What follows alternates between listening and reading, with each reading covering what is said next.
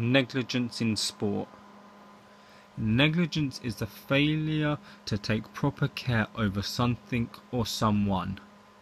A good example would be if you were a coach in a sports centre and you had a basketball session going on and you allowed your players to play on a wet floor even though you knew it was there and it was dangerous.